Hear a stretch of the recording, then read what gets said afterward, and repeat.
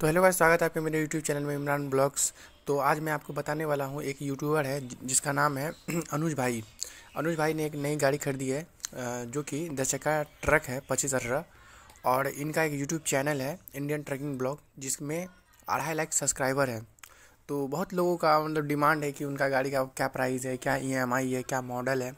तो मैं उन्हीं भाइयों के रिक्वायरमेंट पे लाया हूँ आज कि उनका जो गाड़ी है, वो 2015 मॉडल है।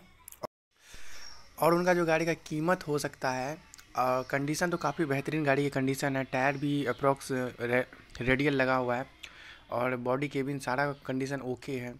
तो गाड़ी जो कीमत होगी मेरे ख्याल से लमसम छः लाख नहीं होगी गाड़ी की कीमत।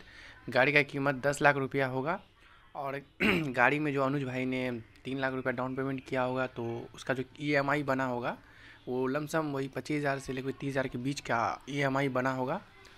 तो बहुत बढ़िया यूट्यूबर है और बहुत लोग इसे जानते भी होंगे जो कि, जो मेरे सब्सक्राइबर हैं। तो इन्हें सपोर्ट करें, काफ़ी मेहनती हैं वो। तो thank you so much for watching this my channel.